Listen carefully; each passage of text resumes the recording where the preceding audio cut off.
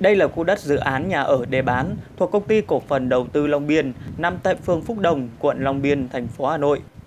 Theo ghi nhận của chúng tôi, lô đất đã hoàn tất việc san nền, trồng cây xanh và có dấu hiệu của việc chia ô đất nền. Hệ thống đường dẫn vào khu đất cũng đã được triển khai cơ bản. Trong công văn gửi Ủy ban nhân dân thành phố Hà Nội, công ty cổ phần đầu tư Long Biên đề nghị được cập nhật chức năng sử dụng đất dự án khu đô thị mới nhà ở Him Lam Long Biên vào quy hoạch phân khu đô thị N10 theo tỷ lệ được duyệt. Việc điều chỉnh này thực hiện theo hướng chuyển đổi khu đất dự án sinh thái cho thuê Him Lam Long Biên từ đất cây xanh thể dục thể thao sang đất đơn vị, nhóm nhà ở xây dựng mới. Theo quyết định 1946 của Thủ tướng năm 2009 về quy hoạch sân golf Việt Nam đến năm 2020 và công văn số 1382 của Hà Nội năm 2010, dự án sân golf và dịch vụ Long Biên thuộc 8 dự án được chấp thuận tiếp tục hoạt động, khai thác và đầu tư xây dựng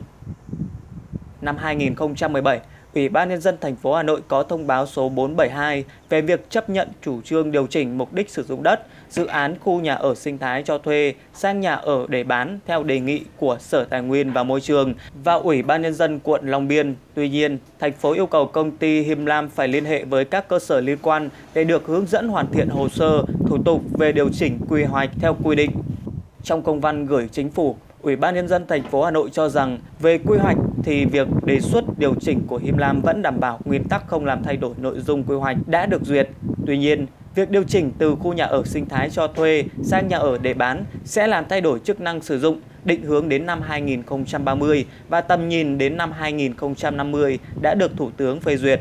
Trước đó, vào hồi tháng 5 năm 2018, Bộ Xây dựng có công văn gửi Ủy ban nhân dân thành phố Hà Nội nêu rõ theo quyết định số 1259 QĐ-TTG ngày 26 tháng 7 năm 2011 của Thủ tướng Chính phủ phê duyệt quy hoạch chung xây dựng thủ đô Hà Nội đến năm 2030 và tầm nhìn đến năm 2050.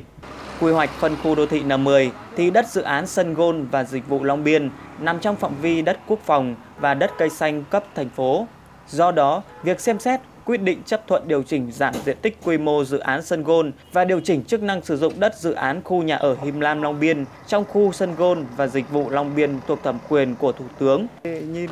Theo Ủy ban nhân dân thành phố Hà Nội, tổng mặt bằng dự án khu nhà ở sinh thái cho thuê Him Lam Long Biên đã được Sở Quy hoạch, Kiến trúc chấp thuận có cơ sở sử dụng đất gồm các chức năng đất cho thuê, đất cây xanh, đất hạ tầng kỹ thuật, đất giao thông, Phần đất ở cho thuê có các chỉ tiêu quy hoạch kiến trúc cơ bản gồm tổng thể lô đất 38.387 m2, tổng diện tích xây dựng là 19.000 m2.